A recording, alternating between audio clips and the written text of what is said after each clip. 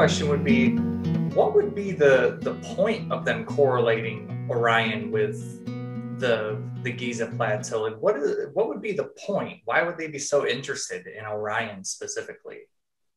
Well, there's two questions there. The first one, uh, you know, because of the Egyptian maxim, as above, so below.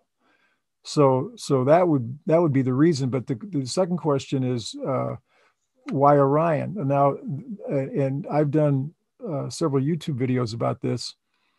Um,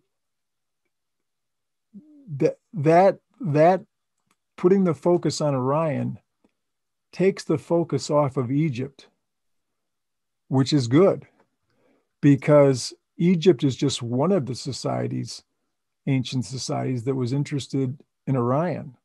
A bunch of ancient societies were, were interested in, in the constellation Orion. So the question would be why?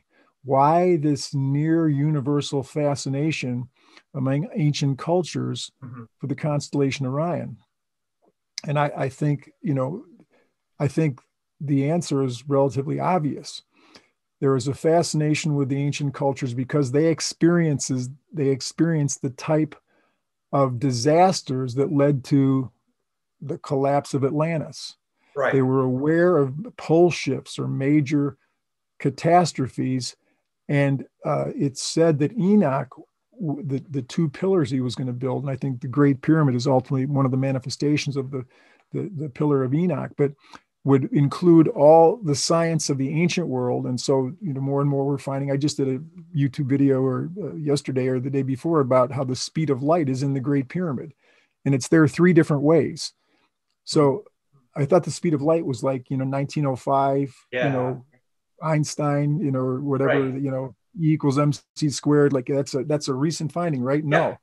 You know, and so that so so the you know the ancients so well going enoch said that he wanted to both encode the science and the math and geometry of the ancient times but also warn about catastrophes to come so orion is this you know this this judge basically because he's he's got this club raised and he's about to strike so yeah. there's a symbol of these catastrophes the great pyramid that the pillar yeah. of enoch is supposed to be warning about and i've done right. a, a couple of programs about the pole shift that seems to be predicted by the four tetragrammaton, the four ancient letters that are at the very entrance of the Great Pyramid, little known.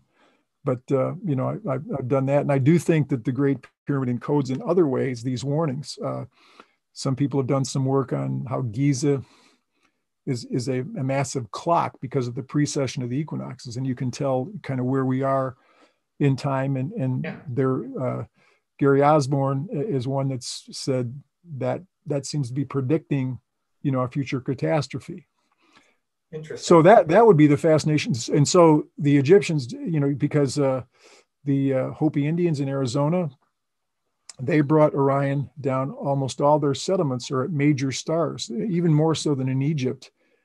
And, and as a matter of fact, that this shows one of the things that began giving me confidence for my finding of of uh, Orion on Egyptian soil is that the one in Arizona is much bigger.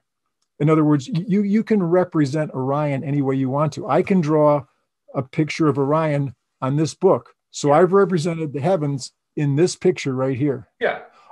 But I could make it bigger. I could take up a whole page. So that's that's bigger than this. So guess what? I could fill this whole back wall. And so the Hopi Indians brought down Orion onto a much larger scale. Wow then it's brought down in Giza. Okay, so looking at this concept of how to bring Orion uh, down to Earth, well, there is no perfectly accepted way. Orion is brought from the heavens to Earth at different scales by different cultures. For instance, in Egypt, if you take the tip of the club stars down to the, the feet or the bottom part of Orion, that takes up about eight miles on Egyptian soil.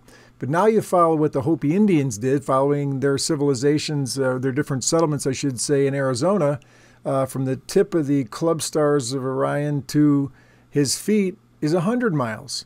So there's no perfect way to bring Orion down to Earth. You can do it any way you want to, and this shows that. So there's not. So that that that that was one of the things that gave me confidence. I was realizing, well, I don't have to be an expert in spheroid geometry or yeah. what cal- I just have to find what the Egyptians did. It's plain by what they did, by what they left there, the same as the Hopi Indians made it plain the way they were. And so you could say, well, how did they do that? I don't know how they did it, but one way you could do it would be take a picture, a transparent picture of where the stars are. Like take a transparent piece of paper and then and then just lay that down onto the soil. Oh, but yeah. you could expand it, just scale it out. Right. So pull it miles, pull it 10 miles. So that that's all that's being done.